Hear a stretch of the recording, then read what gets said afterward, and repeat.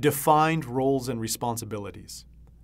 Projects are cross-functional and may involve one organization or multiple organizations with different organizational structures, which may not be suited to plan and implement the project on hand. Hence, it is mandatory that every Prince2 project has a defined project management team structure with defined and agreed responsibilities for each of the project management team role. Adhering to this principle increases the probability of involving right people in the project to carry out the project work. As Prince2 is based on a customer-supplier environment, it is mandatory for the project to have representation for all the three primary stakeholders, i.e. business, user, and supplier. It is important for the project management team personnel to be clear about what their contribution to the project is going to be. Also, to facilitate effective communication within the project team and with external stakeholders, it is mandatory for every project to have a communication management strategy.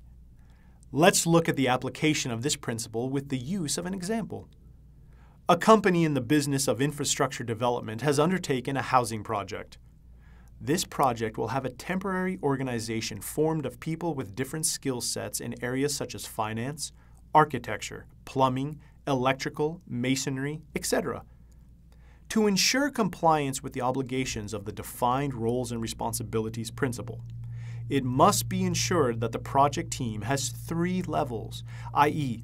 project board, project manager, and team manager with defined and agreed responsibilities for each of the team role. And the project management team has representation for all the primary stakeholders, i.e. business, those who fund the project such as board of directors or majority stakeholders of the company, etc., users, those who use, maintain, or are affected by the outputs such as people who inhabit the houses, maintenance staff, marketing department, etc., and supplier, those who create or provide specialist resources to create the deliverables such as construction firms, firms supplying raw materials, etc.